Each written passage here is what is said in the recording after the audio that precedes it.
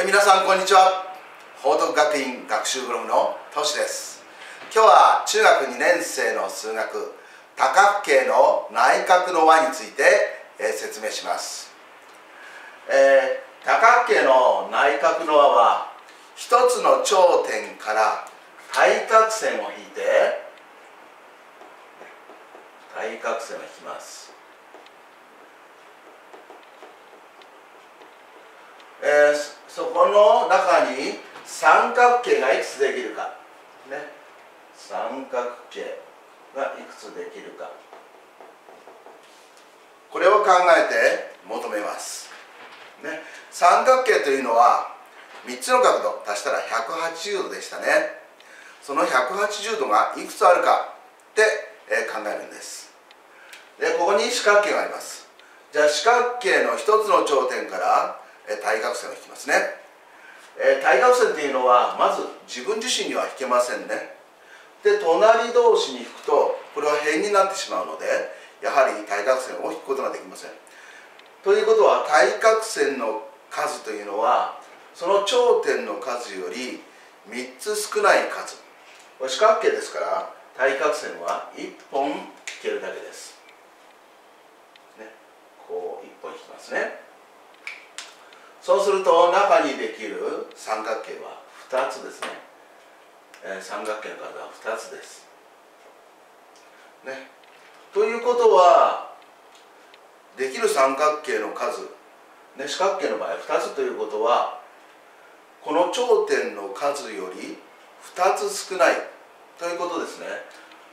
じゃあ五角形六角形でもそのことを確かめてみましょう、えー、五角形で一つの頂点対角線引ける？対角線は？2本です。そして中にできる三角形は？3つです。ということは五角形の頂点の数。5より2少ない数。それが中にできる三角形の数なんですね。六角形。どうでしょう、えー、六角形で一つの頂点から対角線を引きますね。そうすると対角線は3本。で中にできる三角形は1234と4つということになります。やはり頂点の数より2少ない4という数ですね。だったらもし N 角形ね。だったらできる三角形の数は N より2少ない数。ということになります。これをもとにして内角の和を計算してみましょう。これ三角形が2つありますね四角形の場合。ですからえ 180×2 という計算で求めると内角の和は360度と。こういうふうになりますね、えー、五角形の場合は中に三角形3つできています。ですから180度 ×3 そうすると540度ということになりますね。六角形は三角形4つですから 180×4、えー、答えは720度と、ね、こういうふうに求められます。では N 角形の場合は三角形が N-2 個できているので 180× 括弧 n-2 とこういう計算で求めるということになります。ではこの考え方をもとにして例の1と例の2、えー、問題解いてみますね。十角形の内角の和は何度になりますか、えー、十角形ですね、えー、180× ここに、えー角の数きますね。n の引く2ですから10引く2というふうになるわけなのでちゃんと、えー、じゃあこの式に当てはめてみましょう。10引く2とこういう計算ですね。と 180×8 と。これを計算しますね。よろしいですか？そうすると、えー、1440答えは1440度と。こうなります。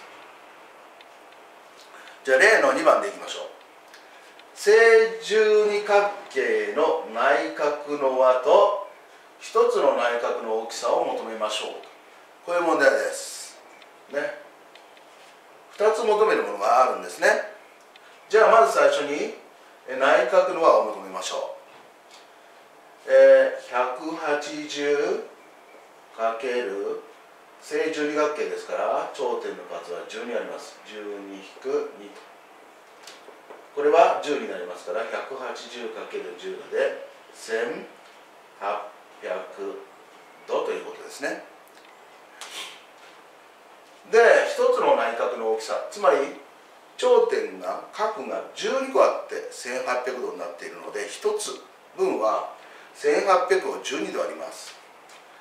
1800割る12でこれを計算すると150度ということになりますね。ですからじゃあ和。ここ映りますかね。和の方ですね。これは1800度と。で一つの内角。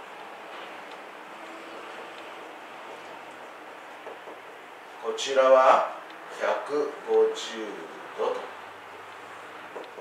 このように求めることができます、ね、よろしいでしょうか、ね、皆さんはどうぞこの 180× 頂点の数引く2というこの式を使えるように練習してみてください。え皆さんはどうぞこの動画を参考にして教科書や問題集の問題に取り組んでください。